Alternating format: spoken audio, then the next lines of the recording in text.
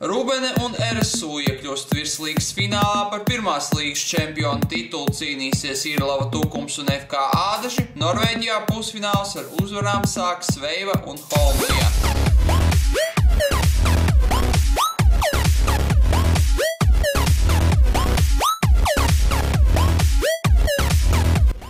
Esiet sveicināti, dārgie klausītāji! Jūs klausāties Formūļus dabūju podkāstu. Tuvāko minūšu laikā mēs atskatīsimies uz aizvadītās nedēļas notikumiem sieviešu florbolā Latvijā un pasaulē. Aizvadītās nedēļas nogalē noslēdzās sieviešu virslīgas pusfināla. Pirmajā pusfināla pārī RSU pārspēja ķekavas Bulldogs sērijā ar 3-0, bet Rubenai bija nepieciešams 4 spēles, lai pieveiktu ķekavu 3-1. Ja pirmajā spēlē starp Buldodzēm un pašreizējām Latvijas čempioniem tikai trešajā periodā tika noformēta pārliecinoša uzvara, tad otrajā mačā, kurš notika Rīgas Olimpiskajā centrā, RSU burtiski sarāva gabalos savas pretinieces. Pirmajā periodā students guva četrus vārdus, taču īpaši veiksmīgi padavās otrā trešdaļa, kurā laukuma saimnieces izcēlās ar deviņiem precīziem metieniem, panākot 13-0. Trešajā periodā vārtus Ersu labāk guva Biļinska, Torstere un Garbere, panākot gala iznākumu 16-0. Trešajā spēlē, kura arī notika Rīgas Olimpiskajā centrā, Buldadis izrādīja nedaudz lielāku pretestību. Rezultātu desmitajā minūtē gan atklāja RSU kapteini Gunta Kārkliņa, tomēr pēc neilga brīža ķekavas Budoks pamanījās izvirzīties vadībā ar 2-1. Neskatoties uz to, RSU atbildēja ar diviem precīziem metieniem, dodoties pārtraukumā ar 3-2 stablo. Otro trešdaļu ar vārtu gūmu sāka Aija Kuncīte. Latvijas čempionēm bija nepieciešams ilgs laiks, lai salauztu būduģu dzelžaino aizsardzību, un tikai īsi pirms došanās pārtraukumā Agnes Rekevičas sārgātajā cietoksnī tika ieraidītas vēl trīs bumbiņas, bet trešajā trešdaļā RSU guva četrus vārtus, noformējot gala iznākumu 11-2 un triumfējot visā sērijā ar 3-0. Florbola sabiedrības lielāku uzmanību, protams, izpelnījās otrs pusfināla pāris, kurā savā starpā spēkiem mērojās Ruben un FK ķēkava pēc divām aizvadītajām spēlēm, kuras notika pocēnos sērijā, bija neizšķirts 1-1. Trešajā spēlē, kur notika Lielvārdē, sākuma daļa aizvitēja samērā līdzīgā cīņā un pēc desmit minūtēm uz tablo 2-2, taču Rubenietis guva trīs vārtus, dodoties pārtraukumā ar 5-2. Turpinājumā kocēnietis gandrīz pilnībā pārņēma iniciatīvu pēc otrā perioda atrodoties vadībā ar 7-3, bet visā spēlē uzvarot ar 8-4.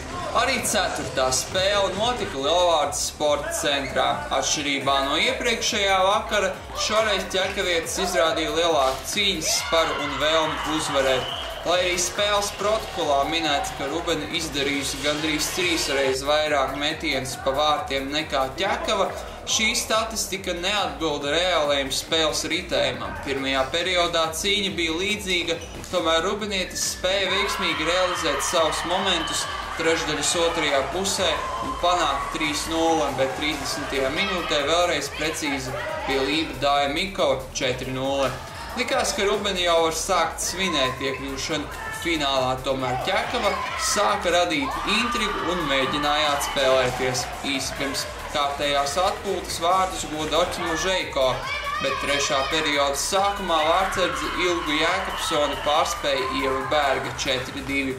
Nepagāja ilgs laiks, līdz Madara Adamana ar spēcīgu elkošo metienu raidīja bumbiņu augšējā stūrī. Tomēr Dina Štāla pamanījās samazināt rezultātu starpību līdz minimumam 5-4.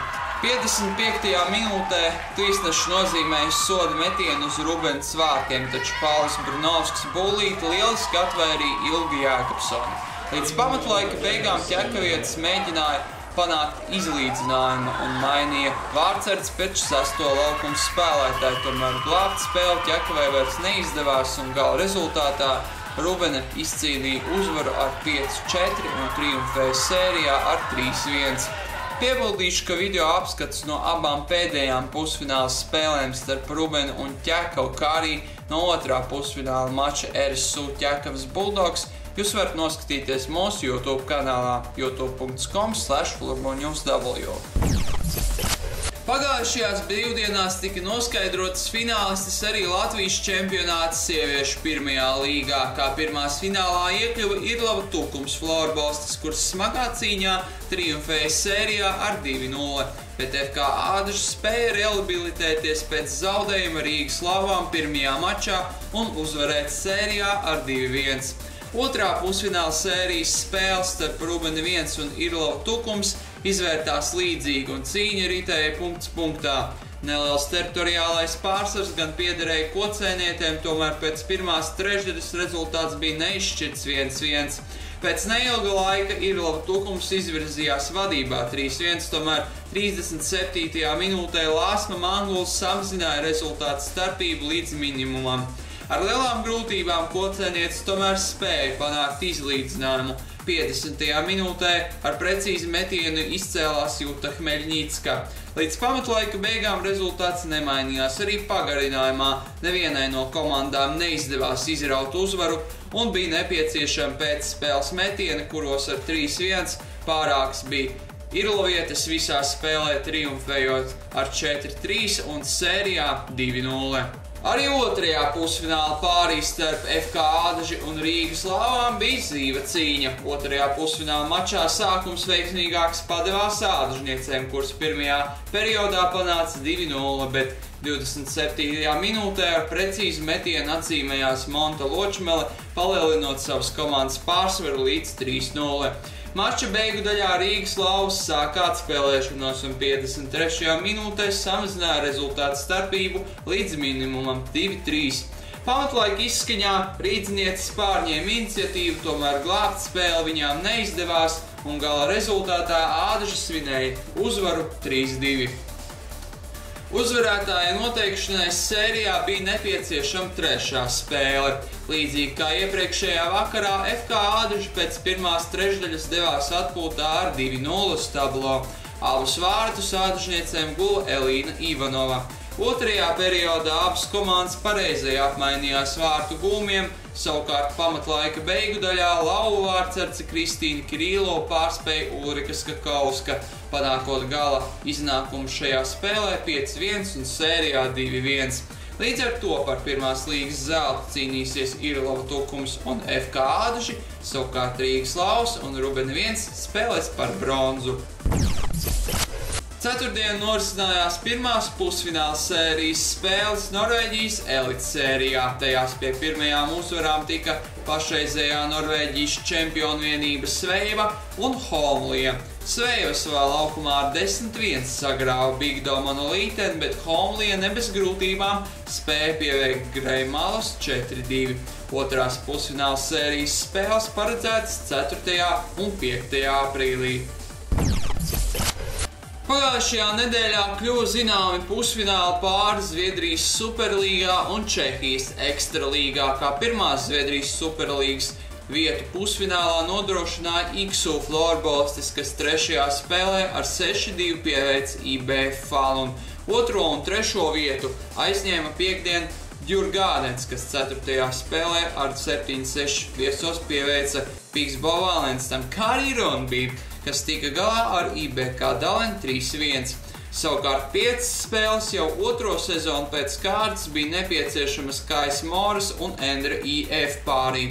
Diemžēl arī bez Anitas Šeinas un Lāmas Višņauskas līdzdalības visbietēm neizdevās pārlaust vienu no vadošajām Zviedrijas Superlīgas komandām. Ceturtajā spēlē Endre izcīnīja uzvaru ar 7-6, bet pēdējā spēlē, kur notika Unihok arēnā, Kais Mora izrāva uzvaru pagarinājumā ar 4-3. Uzvaras vārds 65. minūtē guva Sāra Kristofersone. Līdz ar to Zviedrijas Superlīgas pusfinālos Jurgādens cīnīsies pret Ronbī, bet Iksu mērosies spēkiem ar Kais Mora. Savukārt Čehijas ekstralīgā trīs pusfinālistas bija noskaidrotas jau iepriekšējā nedēļā un atlika tikai noskaidrot ceturto. Ceturdaļfināla sestajā spēlē starp FBC Liberec un Bohēmijans pārliecinoši uzvaru ar 5-0 izcīnīja Bohēmijans floorbolistes. Uzvarētāja rindās divus vārtus go Andreja Kohūtovs, savukārt vārti plus 5 spēle Ivitei Hiršlovai.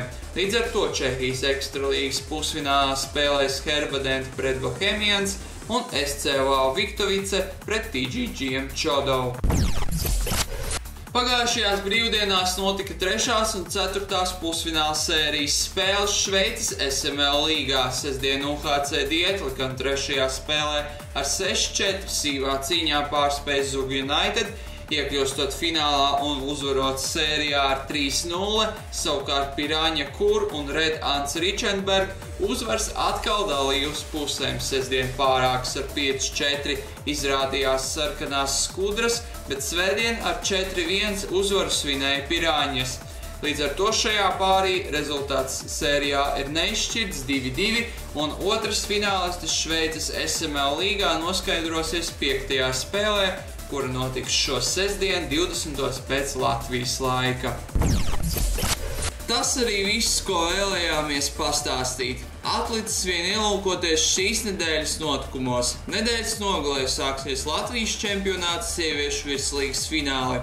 Datumi, laiks un vieta pagaidām oficiāli nav zināmi pirmajām spēlēm, taču pēc Florboņos W rīcībā esošās informācijas RSU visticamāk savu mājas spēli aizvadīs šo svētdienu Rīgas Olimpiskajā centrā, un tā varētu sākties ap pulkstens 18 vai 19. Pašlaik RSU gaida atbildi no Rīgas Olimpiskā centra vadības par spēles aizvadīšanu 31. martā.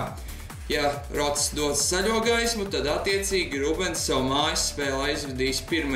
aprīlī Kocēnas sportnamā pulkstens 14.00. Savukārt Lāmai Višņēvskai un Kristīnai Brantē stāv priekšā smagas spēles cīņā par vietu nākamās sezonas Zviedrijas pirmajā divīzijā piekdien un nākošu pirmdien Endre Ief Angdom A cīnīsies pret Zviedrijas otrās divīzijas Stokholmas grupas līdervienību Hammarby IF IBF. Paldies, ka klausījāties! Lai jums veiksmīga šī nedēļa un priecīgas lieldienas! Visu labu!